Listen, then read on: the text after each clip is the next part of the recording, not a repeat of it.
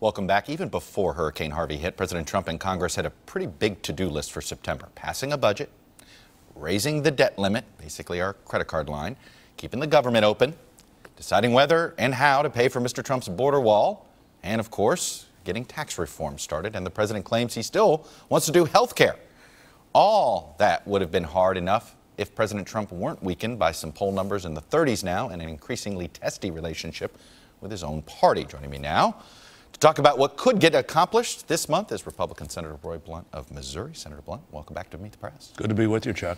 Let me start with North Korea. Um, it seems like the conversation is the same. It used to be every about three months we'd have the North Korea conversation. Now, unfortunately, we're having it every three weeks. Sanctions aren't working. Um, these joint military exercises don't seem to have an impact on him to, to ratchet things back. He continues to ratchet things up. What's left uh, in the diplomatic arsenal? Well, for 20 years, diplomacy by itself appears not to work very well. Sanctions without Russia and uh, China being interested in solving this problem don't work very well. I think the president putting uh, everything on the table is is uh, is not a bad thing right now, both uh, for uh, North Korea, but maybe more importantly for China, mm-hmm. uh, to be thinking about how consequential these the, this behavior is. You know, in the Intel committee that I serve on, I think it doesn't disclose anything to say that in the last year this has probably been the number one topic uh, month after month. What was happening there? What were we going to do about it? Uh, and um, I hope uh, the neighborhood understands how critical this is. is the assumption now among the, among the high level folks in the government that Russia and China, in some ways, have actually, I mean, North Korea appears to be on a faster track in their developments. How helpful has the Russians and perhaps the Chinese been to them?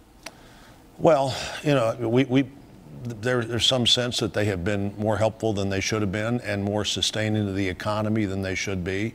Uh, everybody in the world, as well as particularly the countries that are in the region, have a lot at stake here. Nobody in their right mind would want this to happen. Uh, you've got a leader who is both spoiled and reckless. Spoiled and reckless is not a unique thing to find in the world today, but it is unique with somebody who has control of what may now be hydrogen weapons as well as uh, nuclear weapons. Why are the Russians helping them? The Chinese, there, there's an, there's been some analysis as to why the Chinese are not quite sure. They're afraid of a unified Korea. They're afraid of it becoming an ally. There's some at least diplomatic understanding there. What are the Russians up to? Is this simply to distract the United well, States? Well, you know, the Russians have had had a, a Korean interest for well over hundred years. Mm-hmm. It is uh, close to them. It is it is is another outlet potentially for them. Uh, I think the Chinese have more at stake and do more to sustain that economy. They could also do more to quickly cool that economy down. Uh, though with uh, with this leader, does he really care about the other people in the country, or does he just care about himself and staying in power and intimidating whoever's necessary for him to stay in power in his, in his own country. All right, let me start with the to-do list that you guys have in September. Mm-hmm. Um, it isn't a, a full month because there's so there's a lot of holidays. So actually, you have probably about two we- working weeks to actually get some stuff done. Um, the the aid to Harvey. Uh, is this mean that the debt ceiling fight is postponed because of Harvey? The government shut down potential brinksmanship is not going to happen this month because of Harvey. Is that fair to say that all of this will get packaged together to at least keep the lights on for three months, raise the debt limit? Is that where we're headed? I, think it does create another uh, reason as to why you want to keep the government open. Frankly, uh, no interest in Republican leaders. I would think any leaders on Capitol Hill of not keeping the government open. Uh, but the president's attention to this issue, I think, uh, uh, puts another reason on the table to, to, to get things done in September. You know, there's some religious holidays in September. There are other, uh, there's a limited number of days to work. There's a, a, a child insurance uh, bill to be extended. The FAA, the Federal Aviation. You just added more to the to-do to be extended, than, plus than... keeping the government running, and some of those things will have to be uh, combined. I will say this on uh, on Harvey. One, uh, the things the mayor just talked about, mm-hmm. uh, the FEMA money, the stabilization money, the cleanup uh, money, all important to do quickly. Uh, the uh, SBA loan money to get people back in operation, all important to do quickly. That's the money the president appears to be asking for. Beyond that, I don't think we want to make the same mistake that they made with Sandy, which is ask for way more money than you knew yet what you need. We can do this in multiple in tranches, yeah. occasions, just like we did with the Joplin tornado a few years ago. Are you comfortable with raising the debt ceiling with the Harvey money? As it sounds like the president wants that. Are you comfortable with combining know, that's, all that's, of that that's one way to do it, and really the whip. You'll vote for the- that? The whip and the leader need to look at how the votes come together to make that happen. Uh, But, uh, You, you could support something like that.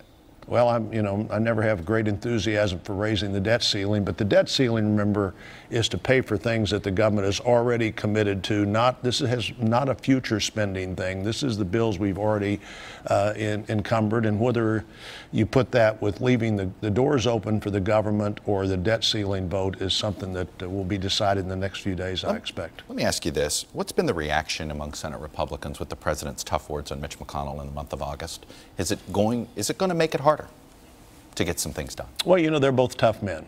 They're, they're both tough men. I think they uh, are both longtime negotiators. They have been in uh, situations before where everything didn't go exactly like you wanted it to. Members were uh, doing things in their district. I imagine what most members were hearing were either you're too supportive of the president or not supportive enough of the president without much discussion about a Mitch McConnell uh, president or, or, or a Paul Ryan uh, presidential relationship discussion. Well, I want to ask you, though, this, this about a John McCain op ed from Friday. He writes this Congress must govern with a president who has no experience of public office, is often poorly informed, and can be impulsive in his speech and conduct. We must respect his authority and constitutional responsibilities. We must, where we can, cooperate with him, but we are not his subordinates. We don't answer to him. Is sounds, now, John McCain may be in a different place than you are as far as the president's concerned, but is that the general sense now that that the Senate and the House Republican leadership want to reestablish that the legislative branch is equal to the president, not answerable to him? Well, you know, I think for the Congress to understand fully and the country to understand that these are two separate branches of government is a good thing.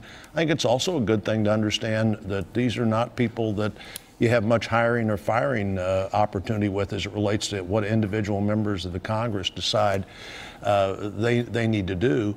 Uh, so certainly that's important. In terms of the president's uh, ability in his job, I will tell you the one thing the president understands better than anybody in the country today is to how to drive a message, uh, how to communicate with people using new ways of communication, and frankly, just a lot better at that than anybody else is. Since I have you here and you're a Missouri guy, I had to ask you about what Jack Danforth wrote a couple weeks ago because it was a pretty stunning comment. He's, he was pretty um, uh, tough on the president. He said, Now comes Trump, who is exactly what Republicans are not, who is exactly what we have opposed in our 160 year history. We are the party of the Union, and he is the most divisive president in our history. There hasn't been a more divisive person in national politics since George Wallace.